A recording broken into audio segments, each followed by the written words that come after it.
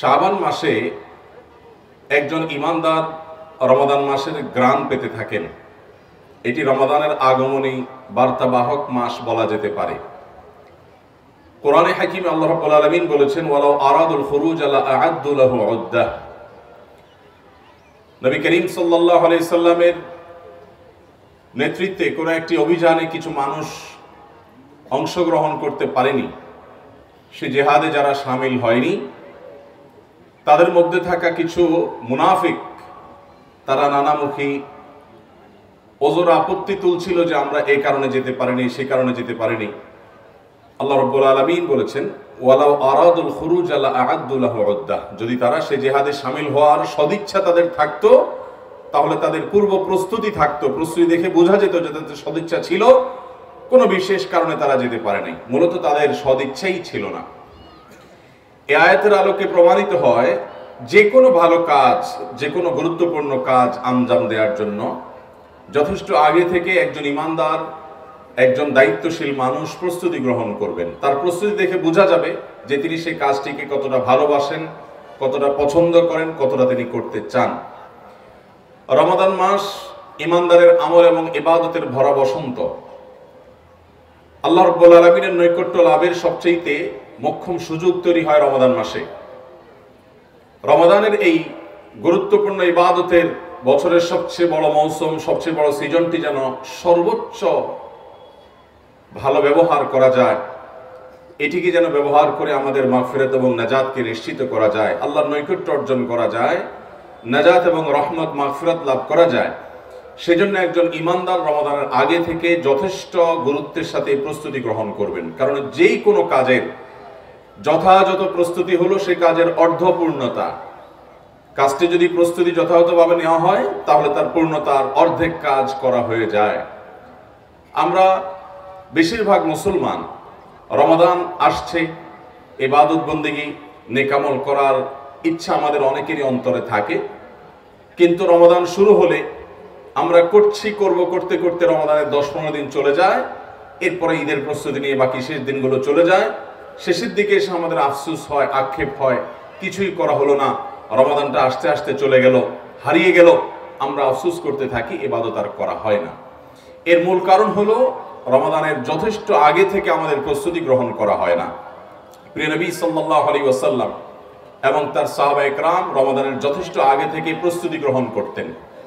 তাদের সে প্রস্তুতি, তাদের সে প্রিপারেশন দেখে বোঝা যেত যে তারা রমাদান জুড়ে ভালো কিছু করতে চাইছে পূর্বসূরি সালাফ যারা ছিলেন, তারা অনেকে রমাদানের ছয় মাস আগে থেকে প্রস্তুতি গ্রহণ করতেন এবং অপেক্ষা করতেন কখন রমদান মাস আসবে এবং আল্লাহ রব্বুল আলমীর নৈকট্য লাভ করা যাবে, অর্জন করা যাবে।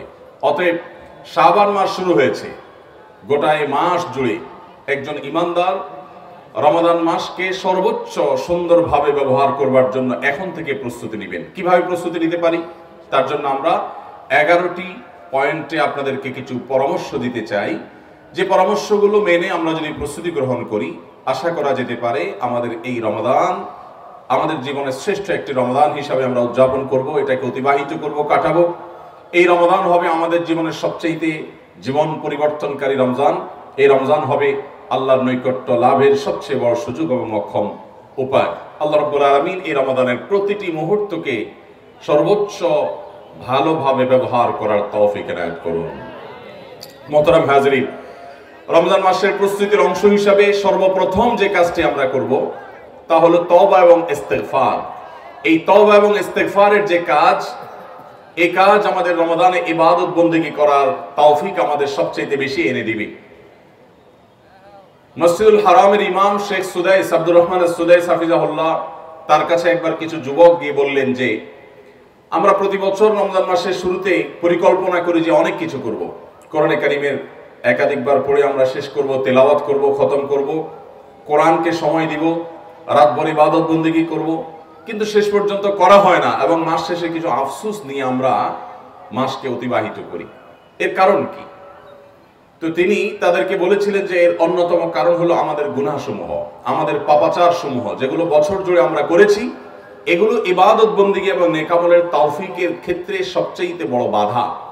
আগে থেকে গুনাহ, পাপাচার, হারামে লিপ্ত হওয়ার কারণে নেকামলের যে তৌফিক আমার পাওয়ার কথা, সেটা থেকে আমরা মাহরুম হই, বঞ্চিত হই। এই ইবাদতের তৌফিক লাভের জন্য একজন ইমানদার তার পূর্বের সমস্ত গুনাহ এবং অপরাধগুলোকে পাপাচার সমূহকে আল্লাহর কাছে রমাদান আসার আগে আগে ক্ষমা চেয়ে সেগুলো সবগুলোকে নিষ্পত্তি করে নেবেন। তার আগের মামলাগুলো যদি সব নিষ্পত্তি হয়ে যায়, তার সকল গুনাহ যদি সে মাফ করে নিতে পারে, তাহলে নতুন করে আল্লাহর রহমতের উপযোগিতা সে অর্জন করবে এবং তার জন্য ইবাদতের তৌফিক হবে। এই জন্য রমদানের প্রস্তুতির অংশ হিসাবে সর্বপ্রথম আমাদেরকে যে কাজটি করতে হবে তা হলো, আমাদেরকে তব এবং ইস্তেগফার করতে হবে। যে আল্লাহ, আমাদের কৃত গুনাহ এবং অপরাধের কারণে রমাদানের এই বিশাল বড় সুযোগ, যে সুযোগে আপনি অনেক মানুষকে মাফ করবেন। প্রতি রাতে আপনি অসংখ্য মানুষকে জাহান্নাম থেকে মুক্ত, জাহান্নাম থেকে মুক্ত পরোয়ানা জারি করবেন, ঘোষণা দিবেন। এই সার্টিফিকেট অর্জন যারা করবে, সেই সৌভাগ্যবান মানুষদের কাতারে যেন আমি সামিল হতে পারি। আমার আগের গুনাহগুলো মাফ করে দিয়ে আপনার রহমত প্রাপ্তির জন্য উপযোগিতা আমার মধ্যে তৈরি করে দিন। এই জন্য আল্লাহর কাছে একজন ইমানদার নিজেকে সমর্পণ করবে। রমদানের আগে থেকে রমজান মাসের ইবাদতের প্রস্তুতির অংশ হিসেবে এখন থেকে তওবা এবং ইস্তেগফার চালাতে হবে। আস্তাগফিরুল্লাহ ওয়া আল্লাহর কাছে রুজু করতে হবে যে আল্লাহ এত গুনাহ করেছি, এত পাপ করেছি, এত অপরাধ করেছি যে আপনার রহমত পাওয়ার মতো উপযোগিতা আমি যেন হারিয়ে ফেলেছি। নিজের সে গুনাহগুলোর কারণে আল্লাহর কাছে মাপ চাইতে হবে। তাহলে কি হবে? আগের গুনাহগুলো যদি আমি মাফ করে নিতে পারি জোরালোর সম্ভাবনা তৈরি হবে যে আমার রমজান মাসে আল্লাহ রব্বুল আলমিন আমাকে রহমত, বরকত, নাজাত, মাগফিরাত লাভ করার সুযোগ এবং নিয়ামত দান করবেন। ঠিক যেমন একজন একজন কাস্টমার কোন দোকান থেকে যখন তিনি বাকিতে কেনা বেচা করেন। বাকিতে কেনাকাটা করতে করতে একটা পর্যায়ে হালখাতার যখন সময় হয়, আগের টাকা পরিশোধ করলে, আগের দেনা সব পরিচ্ছন্ন, পরিষ্কার করলে তখন নতুন করে তাকে আবার বাকি দেওয়া হয় লোন দেওয়া হয়।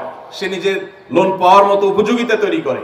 এজন্য আল্লাহর রহমত লাভের জন্য, ইবাদতের তৌফিক আল্লাহর কাছ থেকে পাওয়ার জন্য সর্বপ্রথম প্রস্তুতি হবে তওবা এবং ইস্তেগফার কর। আগের গুনাহগুলোর জন্য চোখের পানি ফেলে মাপ চাওয়া। আল্লাহ তাআলা আমাদের সবাইকে রমজানের আগে আগে সে আমলটি করার তৌফিক দান করুন।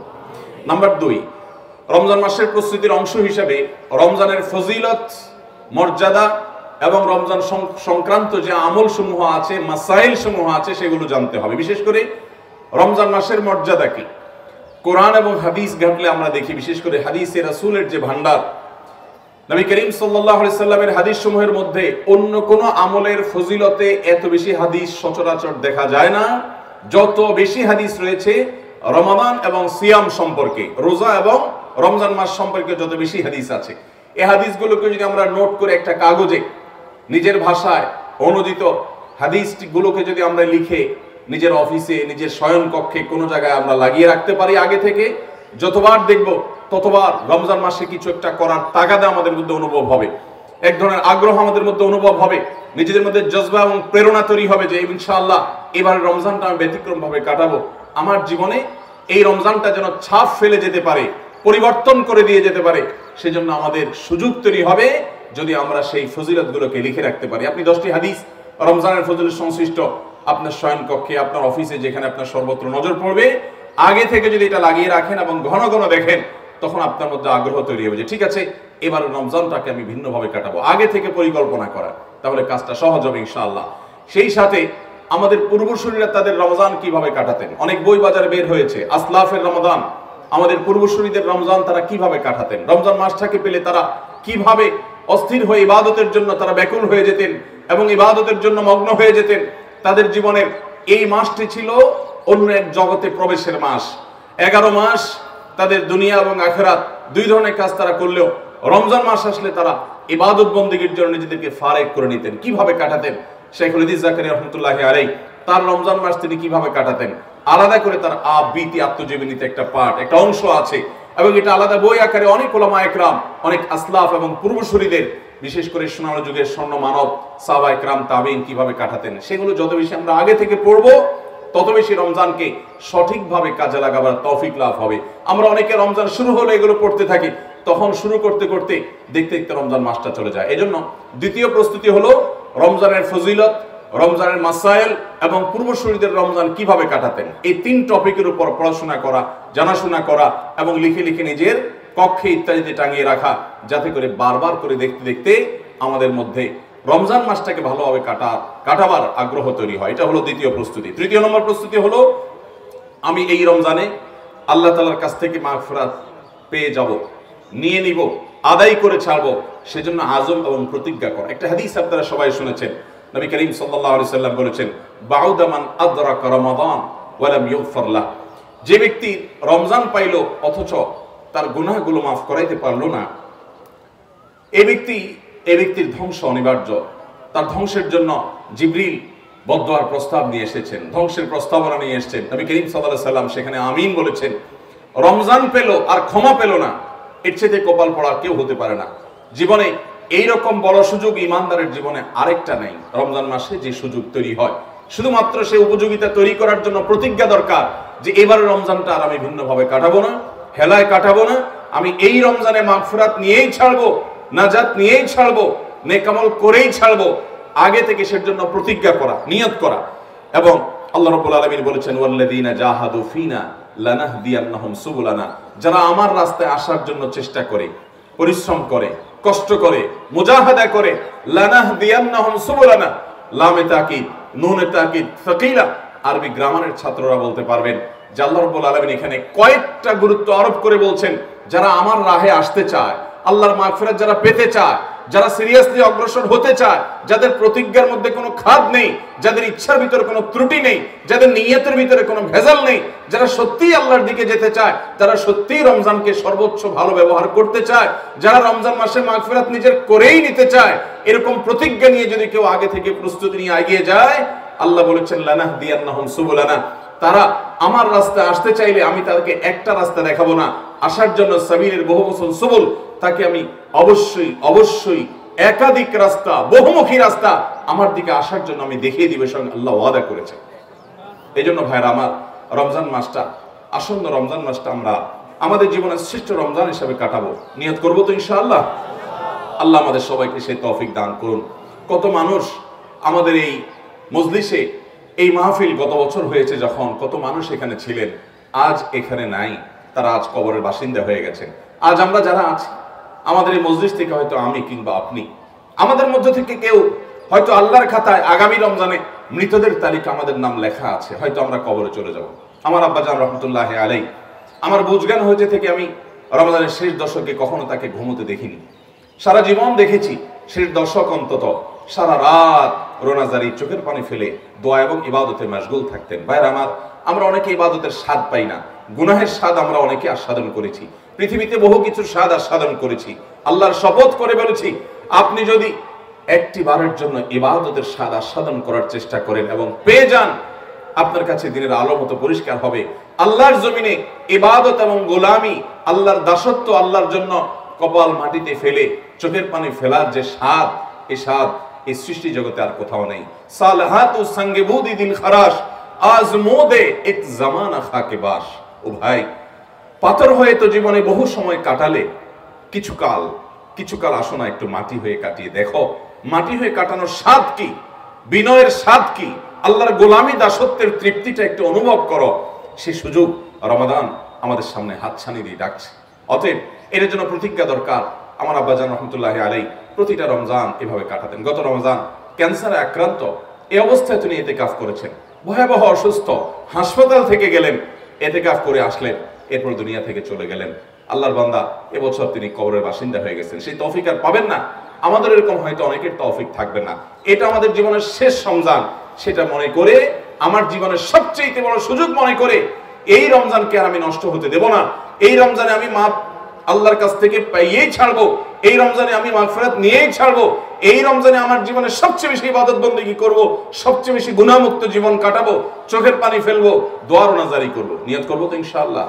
এটা হবে রমজানের আমাদের তৃতীয় প্রস্তুতি, যে আমলের প্রতিজ্ঞা থাকবে, মাগফিরাত লাভের প্রতিজ্ঞা থাকবে যে আমি করবই। আমি যদি প্রতিজ্ঞা করি লানাহ দিয়ান নাম সুবুলান। আল্লাহর ওয়াদা আছে, একটা নয়, বহুমুখী রাস্তা আল্লাহ আমাদেরকে দেখিয়ে দিবে। নাম্বার চার রমজানের প্রস্তুতির অংশ হিসাবে আগের বছরের রমজানে যদি কোনো রোজা আমাদের অনাদায় থেকে থাকে, তাহলে সেটা খুব দ্রুততার সাথে আদায় করে ফেলতে হবে। বিশেষ করে মা বোনদের মাসিকের কারণে রোজা ভাঙতি হতে পারে, অথবা কারোর অসুস্থতার কারণে, সফরের কারণে রোজা না রাখা হতে পারে, সে রোজাগুলো এই রমজানের আগে আগে রেখে ফেলতে হবে। আমাদের আয়সা রাদিয়াল্লাহু তাআলা তার রমজানের যে ভান্তি রোজাগুলো ছিল, নবী করিম সাল্লাহ সাল্লাম যেহেতু তার সাথে থাকতেন তার হক আদায় করতে হয় কিনা সেজন্য বছর জুড়ে তিনি রোজাগুলো রাখতে পারতেন না। যখন নবীজি রোজা রাখতেন ইয়ামে বীজের সোমবার বৃহস্পতি, তখন তিনিও রাখতেন। শাহবান মাসে নবী করিম সাল্লা সাল্লাম সবচেয়ে বেশি রোজা রাখতেন। এই সুযোগে তিনি তার কাজা রোজাগুলো রেখে ফেলতেন। এই জন্য কাজা রোজা যদি থাকে কারোর, তাহলে রমজানের আগে আগে রেখে ফেলা, এটাও রমজানের প্রস্তুতির অংশ যে আগের বছরগুলো সব আমি পরিচ্ছন্ন করলাম ক্লিয়ার করলাম। নাম্বার পাঁচ, নিজের অন্তরকে হিংসা, বিদ্বেষ এবং শির থেকে পরিচ্ছন্ন করা। এটি রমজানের প্রস্তুতির অংশ। কারণ আল্লাহ রব্বুল আলমিন, আল্লাহ রব্বুল আলমিন রমজানের প্রতি রাতে, প্রতিদিন অসংখ্য মানুষকে সাধারণ ক্ষমা ঘোষণা করেন। সাধারণ ক্ষমা। এবং এই সাধারণ ক্ষমার আওতায় সাধারণত ওই সমস্ত মানুষ পড়ে না যাদের অন্তরে কারোর প্রতি হিংসা বিদ্বেষ আছে, শত্রুতা আছে, মানুষের পেছনে লাগার বদভ্যাস আছে। অনেকে আমরা ইসলামের নামে, ইসলামের সেবার নামে এক গ্রুপ আরেক গ্রুপের পেছনে শত্রুতা করি। আমরা একে অন্যের পেছনে লাগালাই করি। এটাকে ইসলামের সেবা আমরা বানিয়ে নিয়েছি। শয়তান আমাদের কাছে এটাকে ইসলামের সেবা হিসাবে দেখিয়েছে। এবং রীতিমতো সেটা বিদ্বেষ, শত্রুতা, হিংসা, হানাহানি, খুনাখুনি পর্যন্ত আমাদেরকে নিয়ে যায়। আর দৈনন্দিন জীবনে দুনিয়ার কাজের অংশ হিসাবে শত্রুতা বিদ্বেষ তো থাকেই। এই জন্য ভাইরা আমার, আমরা রমজানের প্রস্তুতির অংশ হিসাবে অন্তরটাকে ক্লিন অপারেশন চালাবো, যে আমি পরিচ্ছন্ন করব আমি চিন্তা করব আমার কারোর প্রতি বিদ্বেষ আছে কিনা। আল্লাহর জন্য সেটাকে পরিচ্ছন্ন করব। কাউকে আমার শত্রু মনে হয় কিনা, আল্লাহর জন্য আমি শত্রুতা দূর করে, ক্ষমা করে আমার অন্তরটাকে পরিচ্ছন্ন করব। শির যদি থাকে শির থেকে মুক্তি লাভ করতে হবে। কারণ সাধারণ ক্ষমা সাধারণত মুশ্রিক এবং মোশাহিন হাদিসের রাষ্ট্র অনুযায়ী এই দুই শ্রেণি মানুষকে আল্লাহ রবুল আলমের সাধারণ ক্ষমা করেন না। বিধায় সমস্ত মানুষের জন্য অন্তরটাকে পরিচ্ছন্ন করা, হিংসা থেকে মুক্ত করা, যাতে করে রমজানের সাধারণ ক্ষমা প্রতিদিন যে হবে, আমি অন্তত তার মধ্যে সামিল হয়ে যেতে পারি। আল্লাহকে দেখাবো যে আল্লাহ, আমি প্রস্তুতি নিয়েছি, আমি পরিচ্ছন্ন অভিযান চালিয়েছি নিজের মধ্যে, যাতে করে সাধারণ ক্ষমা পেতে পারি। এটি রমজানের প্রস্তুতির অংশ। পাঁচ নম্বর। ছয় নম্বর প্রস্তুতির অংশ হলো সোশ্যাল মিডিয়া নিয়ন্ত্রণ করা।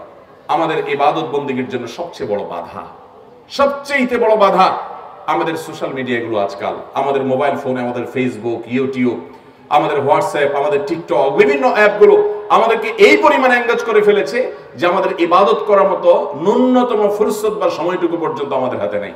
ভাইরা, আমার প্রয়োজনে একটি মাসের জন্য সমস্ত অ্যাপগুলোকে মোবাইল থেকে আনইনস্টল করে ফেলতে হবে। আমি আল্লাহর এরকম বহু বান্দা দেখেছি যে বান্দারা রমজান উপলক্ষে তাদের মোবাইল থেকে সমস্ত অ্যাপগুলো আনইনস্টল করে ফেলেছে এবং আল্লাহর জন্য ত্যাগ করেছে। ইবাদতের সবচেয়ে বড় শক্তিশালী বাধা হলো এটি। বিশেষ করে রমজানকে নষ্ট করার সবচেয়ে বড় কারণ হলো এটি।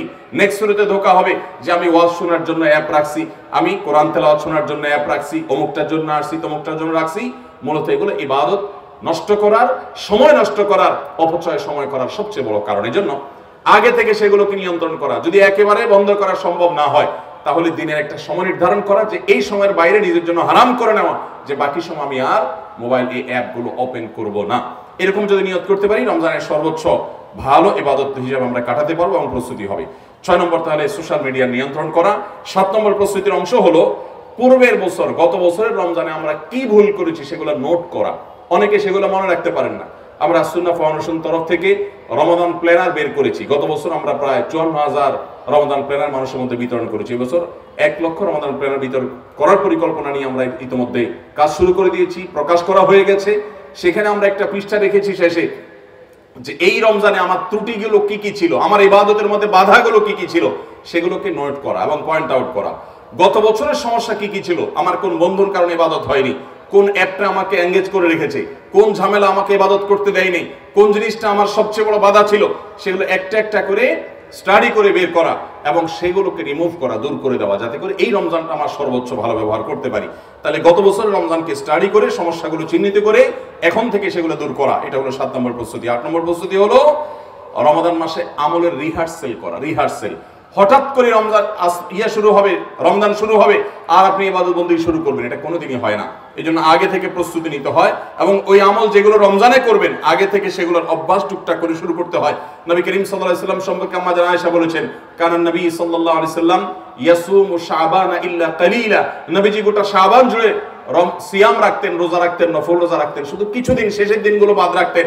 এই রমজান শাহবান মাসে বেশি বেশি নফল রোজা রাখা, রমজানের যে ফরজ রোজা, ওইটার প্রস্তুতি, ওইটার রিহার্সেল ঠিক একইভাবে রমজান মাসে তেলাওয়াত সাদাকা বিশেষ শ্রাবান মাসে তেলাওয়াত সাদাকা পূর্বসূরি সালাফরা অনেকে শাবান মাসে প্রচুর সাদাকা করতেন। এই সাদাকার উদ্দেশ্য আল্লাহর কাছ থেকে তৌফিক লাভ করা ইবাদতের। এই জন্য আগে থেকে রমজানে যা করবেন, এখন থেকে টুকটাক করে সেগুলোর প্রস্তুতি না শুধু। সেগুলোর রিহার্সাল শুরু করা, শুরু করে দেওয়া, যাতে করে রমজানে হঠাৎ করে করতে অসুবিধা না হয়। অনেকে হঠাৎ করে মনে করেন যে, আমি পয়লা রমজান থেকে একবারে শুরু করব তেলাওয়াত। না, আপনি আগে থেকে একটু একটু করে অভ্যাস করেন। একটু প্রস্তুতি নেন। যে কোরআন আপনি অনুবাদ পড়বেন, ওলামাদের সাথে পরামর্শ করে সেটা আপনি কিনে ফেলেন। যে তাফসির আপনি পড়বেন, ওইটা কিনে ফেলেন। আপনি যে কোরআনের হালাকাতে কোরআন নাজিলে মাসে যে কোরআনের হালাকাতে শরিক হবেন, সে হালাকাতে নাম লেখায় ফেলেন এবং সেখানে আগে থেকে টাইম বের করে ফেলেন। সমস্ত কাজকামকে আপনি সেট করে ফেলেন। এটা অংশ। তাহলে প্রস্তুতির অংশ হিসাবে আমাদের রমাদান মাসে কি আমলগুলো করব সেগুলো শাবান মাস থেকে শুরু করা। একটু একটু করে। আট নম্বর প্রস্তুতির অংশ হলো রীতিমতো একটা ছক এঁকে ফেলা। একটা শিডিউল স্কাজিউল তৈরি করা যে আমি এই এই বাদত এই সময় করব। তেলাওয়াত কখন করব? দানটা কখন করব? ঈদের কেনাকাটা আমাদের ইবাদত বন্দীগীর ক্ষেত্রে অনেক বড় একটা বাধা। এই জন্য ঈদের কেনাকাটা যদি রমজানের আগে আগে করে ফেলতে পারি, তাহলে সবচেয়ে ভালো। শেষ দশক সবচেয়ে বেশি সময় নষ্ট হয় আমাদের ঈদের প্রস্তুতি নিতে নিতে। ইমানদার শেষ দশকে সবচেয়ে বেশি ইবাদত করবেন নবী আলাইহি সাল্লাম সম্পর্কে বুখারী হাদিসে। আমাদের আয়েশা বলেছেন, কানা ইদা দাখালাল আশার শাদ্দামি ইজারাহু আহিয়ালাই আহিয়ালাইলা ওয়া শাদ্দামি ইজারাহ নবী আলাইহি সাল্লাম শেষ দশক আসলে সারা রাত জেগে থাকতেন, কোমর বেঁধে নিতেন এবং তিনি তার পরিবারের লোকদেরকে জেগে জাগিয়ে তুলতেন আই কাদা আহলা, তিনি সারা জুড়ে বাদবন্দি করতেন। যাতে করে সেটা করতে পারি আমি এই জন্য ঈদের ঝামেলাগুলো আগে আগে সেরে ফেলা। বিভিন্ন কোম্পানিতে যে এমপ্লয়িরা কাজ করে থাকেন, আমরা তাদেরকে অনুরোধ করি যে রমজানের আগে আগে ঈদের বোনাসটা দিয়ে দেন। যাতে করে আপনার এমপ্লয়িরা রমজানের শেষ দশকটা ঈদের ব্যস্ততায় নষ্ট না করে আগে ভাগে তারা যেন করতে পারে। আল্লাহর অনেক বান্দারা শুরুও করেছেন। তাহলে নয় নম্বর প্রস্তুতি হলো ছক এঁকে নেওয়া, পরিকল্পনা করা যে আমি দান করব রমজানে কত টাকা, এত টাকা। কাকে কাকে, কোন কোন খাতে, তার পরিকল্পনা আগে থেকে করে ফেলা। এবং অনেক ভাইরা আছেন হার্ড পরিশ্রম করেন, রোজা রাখা সহজ হয় না। অনেক রিক্সাওয়ালা ভাইরা আছেন, অনেক কষ্ট হয় তাদের জন্য রোজা রাখাটা। তাহলে আগে থেকে কিছু টাকা জমি, যে রমজানে দিনের বেলা আমি প্রয়োজনে ডিউটি করব না, অথবা করলে অল্প করব, যাতে করে আমার সিয়াম বা রোজা রাখতে অসুবিধা না হয়। আগে থেকে পরিকল্পনা করলে তখন আর মাসালা জিজ্ঞাসা করতে হবে না যে, হুজুর, রোজা রাখতে অসুবিধা হয়, রিক্সা চালিয়ে রোজা রাখতে পারি না, আবার রিক্সা না চালালে আমার সংসার চলে না? এই প্রশ্ন করতে হবে না। আপনি আগে থেকে পরিকল্পনা করেন প্ল্যান করেন। রীতিমতো আমি এই টাইমে কোরআন তালাওয়াত করব, এই টাইমে হাদিস পাঠ করব, এই টাইমে আমি কোরআন শিখব, এই টাইমে কোরআন হিফজ করব, এই পরিকল্পনা করব। এটা নয় নম্বর প্রস্তুতি যে প্ল্যান তৈরি করা এবং ছক আঁকে ফেলা এবং লিখে ফেলা যে আমি রমজান মাসের তিরিশ দিন এভাবে কাটাবো, এটা টাঙ্গায় ফেলা যে আমি ঘুম থেকে উঠা থেকে নিয়ে আবার ঘুমানো পর্যন্ত এভাবে এই জাদওয়াল এবং এই স্কাজুয়াল আমি মেনটেন করব। দশ নম্বর প্রস্তুতি হলো শাবানের শেষের দিনে, উনত্রিশে শাবান এসে রমজানের রোজা রাখা। এখন তো এটা, রমজানের চাঁদ দেখা। এই রমজানের চাঁদ দেখার আমলটা আমাদের সমাজ থেকে বিদায় হয়ে গেছে। আমরা এটা সবাই মিলে দায়িত্ব দিছি জাতীয় হেলাল কমিটি বা চাঁদ দেখা কমিটিকে। অথচ চাঁদ দেখা শুননা এবং চাঁদ দেখলে সব হয়। বিশেষ করে শহর এলাকায় মানুষ বিল্ডিং এর কারণে চাঁদ দেখতে পারে না জন্য দেখা ছেড়েই দিয়েছে। আমি একটা খোলা মাঠে, একটু আকাশে, অন্তত পশ্চিম আকাশে চাঁদ একটু তালাশ করার চেষ্টা করব। যদি চাঁদ দেখতে নাও পাই তালাশ করার কারণে আমি একটা সুন্নাহ জিন্দা করার সওয়াব পাবো। আর যদি দেখে ফেলতে পারি, তাহলে আল্লাহ আহিল্লাহু আলাইনা বিল ইয়ুমনি ওয়াল ঈমানি ওয়াস সালামাতি ওয়াল ইসলাম। আমরা দোয়া পড়ব, চাঁদ দেখার দোয়া। তাহলে শাবানের শেষের দিনে রমজানের প্রস্তুতির অংশ হিসাবে চাঁদ তালাশ করা, এটা রমজানের প্রস্তুতি। এবং এগারো নম্বর সর্বশেষ হলো আল্লাহর কাছে তৌফিক কামনা করা, দোয়া চাওয়া যে আল্লাহ ইবাদতের জন্য আমি শত পরিকল্পনা করলেও আপনার তৌফিক ছাড়া কোনোই কাজে আসবে না। আপনি আমাকে তৌফিক দিন। এই রমাদানটা আমার জীবনে স্মরণীয় যেন হয়ে থাকে। সবচেয়ে শ্রেষ্ঠ রমাদান যেন কাটাতে পারি, সেজন্য আল্লাহ তালার কাছে আমরা তৌফিক কামনা করব। আল্লাহ আমাদের সবাইকে সেই তৌফিক দান করুন। ভাইরা, আমার রমাদানের জন্য যথাযথ প্রস্তুতি গ্রহণ করব তো ইনশাআল্লাহ? আমি আবারও এক নজরে বলে দিচ্ছি, এক নম্বরের প্রস্তুতি হলো তওবা, ইস্তেগফার করা। আগের গুণাগুলো মাফ করে নেওয়া, যাতে করে নতুন করে ইবাদতের তৌফিক হয়। দ্বিতীয় প্রস্তুতি হলো রমজানের ফজিলতগুলো জানা, মাসআলাগুলো জেনে নেওয়া আগে থেকে। এবং আমাদের পূর্বশরীরা কীভাবে রমজান কাটাতেন সে সম্পর্কে জানা, বিশেষ করে ফজিলতের হাদিসগুলো লিখে রাখা, যাতে করে আগ্রহ তৈরি হয় আগে থেকে। নাম্বার তিন, রমজানে মাগফিরাত এবং আল্লাহর কাছ থেকে আমলের তৌফিক আমল করার জন্য প্রতিজ্ঞা করা, আজম করা, যে আমি এবার রমজানটাকে ছাড়বো না কোনোভাবে অবহেলায়। চার নম্বর প্রস্তুতি হলো আগের বছর রমজানের কাজা রোজা থাকলে সেগুলো করে ফেলা। পাঁচ নম্বর হলো অন্তরকে হিংসা, বিদ্বেষ এবং শিরিক থেকে পরিচ্ছন্ন করা, কারণ সাধারণ ক্ষমার জন্য এগুলো বাধা হয়। সাত, ছয় নম্বর প্রস্তুতি হলো সোশ্যাল মিডিয়া নিয়ন্ত্রণ করা প্রয়োজনে টোটাল অ্যাপগুলো আগে থেকে ডিলিট করে ফেলার প্রস্তুতি নেওয়া। এবং সেটা না পারলে অন্তত একটা নির্দিষ্ট টাইম ফরম্যাট নিয়ে ঠিক করা যে এর বাইরে আমি এটা ব্যবহার করব না। আর সাত নম্বরের প্রস্তুতি হলো, আগের বছরের রমজানে কি কি ভুলের কারণে আমার ইবাদত হয় নাই সেগুলো চিহ্নিত করে বের করে এই বছর সেগুলো যেন রিপিট না হয় সেজন্য অবশ্যই প্রতিজ্ঞা করা। এবং আট নম্বরের প্রস্তুতি হলো শাহবান মাসে ইবাদত বন্দিগি, এটা রমজানে যেগুলো করব সেগুলো রিহার্সেল প্রস্তুতিমূলক। শুরুটা এখন থেকে করা, নফল রোজা বেশি বেশি করে রাখা। নবীজি এই মাসে বেশি নফল রোজা রাখতেন। নয় নম্বর প্রস্তুতির অংশ হলো যে রীতিমতো একটা ছক এঁকে ফেলা। আমি কীভাবে রমজানের চব্বিশ ঘণ্টা কাটাবো? রুটিন করা। এই রুটিনটাকে টাঙিয়ে ফেলা। এখন থেকে করে ফেলা সেটা। দশ নম্বর প্রস্তুতির অংশ হলো আমি যাতে শাহবানের শেষ দিন, রমজানের সূর্যটা, রমজানের চাঁদটা দেখতে পাই। যদি দেখতে না পাই, অন্তত খুঁজবো, এটা রমজানের প্রস্তুতির অংশ। এগারো নম্বর হলো আল্লাহর কাছে তৌফিক এবং দোয়া। এখন থেকে কামনা করা, হাত তুলে দোয়া করা আল্লাহর কাছে, আল্লাহ, আমি রমজানের যে এবাদতের তৌফিক পাই, আপনি আমাকে সেই তৌফিক দান করেন। এই এগারোটা প্রস্তুতি আমরা গ্রহণ করব তো ইনশাআল্লাহ। আমরা রমজানের প্রস্তুতি গ্রহণ করি, সবাই করি। কীভাবে করি? আমাদের দেশে বাজার নিয়ন্ত্রণকারী সরকারি যে প্রতিষ্ঠানগুলো আছে, তাদের কাজ হয় রমজানের প্রস্তুতির অংশ হিসাবে অতিরিক্ত সোলা চিনি, তেল, তারপরে খেজুর, এগুলো আমদানি করা। আর আমাদের যারা দোকানদার আছেন, বিশেষ করে মুদি দোকানদারিরা তাদের বেশিরভাগ মানুষের ব্যবসার প্রস্তুতি হলো যে আগের কেনা মালামাল থাকলে সেগুলো সবগুলো সাইড করে ফেলানো, সেগুলো সবগুলো সরায় ফেলানো, যাতে করে দাম বেশি হবে যখন, বেড়ে যাবে যখন, তখন সেটা অধিক মুনাফায় বিক্রি করা যায়। এই গুদামজাত করে ফেলা হলো অনেক দোকানদারদের রমজানের প্রস্তুতি। রমজানের প্রস্তুতি হলো যে কোন টেলিভিশন চ্যানেল ঈদের কোন দিন কোন নাটক কোন সিনেমা দেখাবে, এগুলো তাদের রমজানের প্রস্তুতি। আর আমাদের রাজনৈতিক দলগুলো রমজানের প্রস্তুতি হলো কোন দিন, রমজান মাসে যেহেতু রাজনীতি করা যাবে না সরাসরি, তাহলে এবার কীভাবে ইফতার পার্টির নামে রাজনীতি করা যায়, কোন দিন কোনটা করা যায়, সেই পরিকল্পনা। ঠিক একইভাবে রমজান মাসে আমরা যারা ঠিক ঠিক বলে এখন চিল্লাচ্ছি, আমাদের প্রস্তুতি হলো রমজান আসার আগে আগে বেশি বেশি করে তেল, সোলা দরকার না হলেও কিনে বাজারে ক্রাইসিস সৃষ্টি করা, এরপরে অযথাই দাম বাড়ায় দেওয়া। এগুলো আমাদের রমজানের প্রস্তুতি।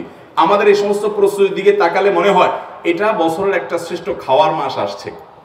যার কারণে আমরা সবাই রমজানের প্রস্তুতির অংশ হিসাবে দেখবেন অনেকের ফ্রিজে এখন থেকে আপনার দেখা যাচ্ছে বেগুন হয়তো বেসম চিনি, ছোলা, তারপরে চিড়া, যা যা দরকার হয়, সয়াবিন তেল ইত্যাদি এখন থেকে অনেকে কেনা শুরু করছেন যে রমজান আসছে, অতএব খাদ্য গুদামজাত করো, খাদ্য আগে আগে কিনে ফেলো। যে মাসে আল্লাহ তালা চব্বিশ ঘণ্টার মধ্যে পুরো দিনের বেলা খাবারটাই রোজাদারদের জন্য আল্লাহ তালা নিষিদ্ধ করে দিয়েছেন। সে মাসে তো খানাতে আরও খানা কম লাগার কথা, সেখানে বাজারে ক্রাইসিস সৃষ্টি হয়। তার মানে এই পরিমাণ খানা আমরা খাই এবং এই খানার জন্য আরেকটা জাল হাদিস বানায় নিছি, রমজানে খাবারের কোনো হিসাব নেই। রমজানে খাবার নাকি কোনো হিসাব নেই। রমজানে খাবারের জন্য হিসাব আরও বেশি হবে, আরও কড়াকড়ি হবে। যে তোমাকে পুরো দিনের বেলায় খানা নিষেধ করে দেওয়া হয়েছে, তুমি বিনা হিসাবে খাইছো, অতএব হিসাব দাও। ভাইরা আমার রমাদান মাস খাদ্যের মাস না, এটা ত্যাগের মাস, এটা সংযমের মাস, এটা সবরের মাস, এটা ধৈর্য ধারণ করার মাস খাদ্য নিয়ন্ত্রণ করার মাস, নিয়ন্ত্রণহীন খাবারের মাস না। আমরা রমজানের এই এই ধরনের হাস্যকর প্রস্তুতি বর্জন করে আসুন, যথাযথ রূপে সঠিকভাবে রমজানকে আমরা কাটাবার জন্য এখন থেকে প্রস্তুতি গ্রহণ করি। আল্লাহ আমাদের সবাইকে সেই তৌফিক দান করো সবাই নিয়ত করব তো ইনশাআল্লাহ? আমরা যদি সঠিকভাবে রমজান কাটাবার জন্য পরিকল্পনা করি, প্রস্তুতি গ্রহণ করি ইনশা আল্লাহ এই একটি রমাদান আমার জান্নাত নিশ্চিত করার জন্য জাহান্নাম থেকে মুক্তির পারওয়ানা পাওয়ার জন্য আল্লাহর মাগফিরাত এবং নাজাত নিজের করে নেওয়ার জন্য যথেষ্ট হবে। নিয়ত করব তো ইনশাআল্লাহ। আল্লাহ আমাদের সবাইকে তৌফিক দান।